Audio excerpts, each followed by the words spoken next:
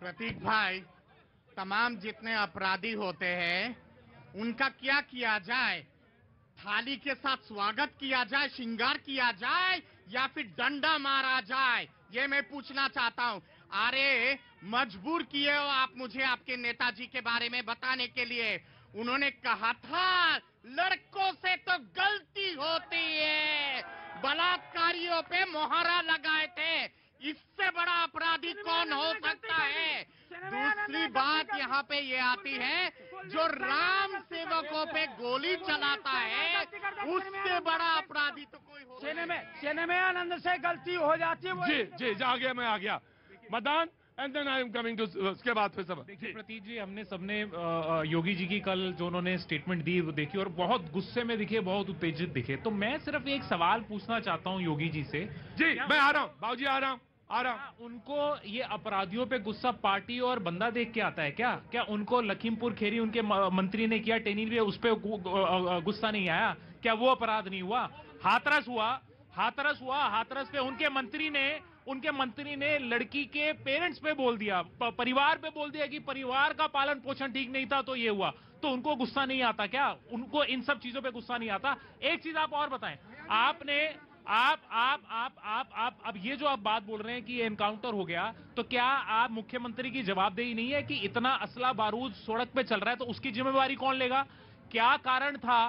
कौन से वो अफसर हैं जिन्होंने अपनी ड्यूटी ठीक से नहीं करी और इतना असला और बारूद शहर के अंदर चल रहा है? राइट जनाब। जहाँ तक प्रश्न है अपराध का देखो भाई ऐसे करोगे तो कैसे करेंगे काम? जी जहाँ तक प्रश्न है अपराध का आंकड़े बोलते हैं।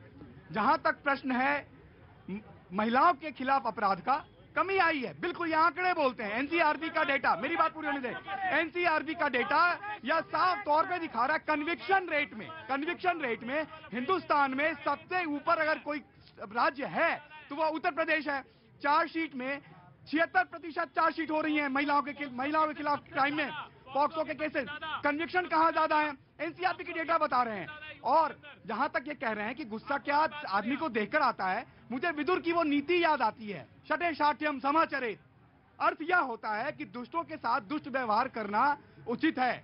यहाँ पर यहाँ पर अगर अपरा, अपराधियों पे अगर एनकाउंटर हो रहे हैं साढ़े नौ हज़ार एनकाउंटर हुए हैं अगर आप कह रहे हैं कि जानबूझ के मार रहे हैं तो उसमें साढ़े तीन हज़ार लोगों के पैरों में गोली क्यों लग रही है? कोई गिरफ़्तार क्यों हो रहा है? अगर कोई भाग रहा है तो उसको मारना जी ऑफ़ कोर्स दो वकीलों दो दो वकील हैं तो ऑफ़ कोर्स तर्क होगा। मैं आ रहा हूँ मैं आ रहा हूँ। दो वकील हैं। प्रतीक जी मेरे भाई हैं काबिल अधिवक्ता हैं। उन्होंने बात करी कि दुष्टों के साथ दुष्व्यवहार होना चाहिए। बिल्कुल ठीक बात है मैं इनके साथ अग्री करता हूँ। लेकिन उसका एक एक्सेप्शन है। अगर वो भाजपा की टोपी पहन लेगा और भाजपा का अगर वो झंडा उठा लेगा तब तब तब वो दुष्टों पे वो दुष्व्यवहार नहीं होगा। देखिए ऐसा बिल्कुल नहीं होगा। इन कांग्रेसियों को और इन समाजवादियों को तो ये लगता था बाबा आएँगे तो पूजा करेंगे और जो पूजा हो ही रही है।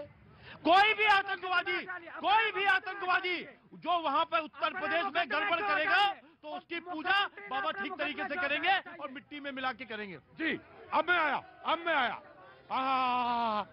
जय भैया जी कहाँ से आना हुआ? इटावा से। इटावा से हाँ क्या? आशीष त्रिपाठी इटावा से आए जी मैं आ रहा हूँ। आप कहाँ से आए उत्तराखंड से। पहले इटावा ले लें कि उत्तराखंड लें? जी जी जी। मैं हाँ इटावा ज़्यादा मज़ा आ रहा है हाँ? जी।